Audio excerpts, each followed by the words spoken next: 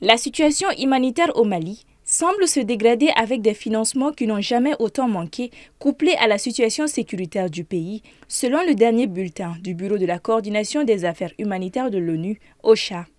Le rapport publié en juin couvre les mois d'avril et mai. Plus de 7 millions de personnes, en grande partie des enfants, ont besoin d'une aide d'ici au mois d'août, selon le bureau onusien.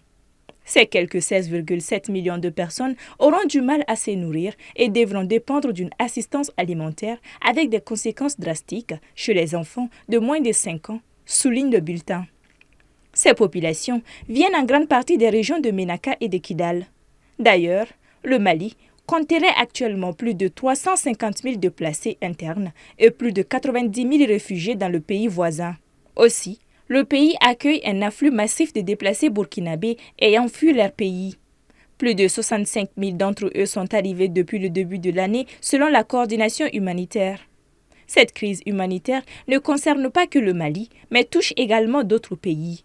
Afin d'apporter assistance, l'ONU et ses partenaires ont besoin d'une somme de 4,7 milliards de dollars cette année pour aider 21 millions de personnes au Burkina Faso, dans l'extrême nord du Cameroun, au Mali, au Niger, dans les États nigériens d'Adamawa, de Borno et de Yobe et au Tchad. À ce jour, 16% seulement de la somme requise, soit 761 millions de dollars, ont été versés.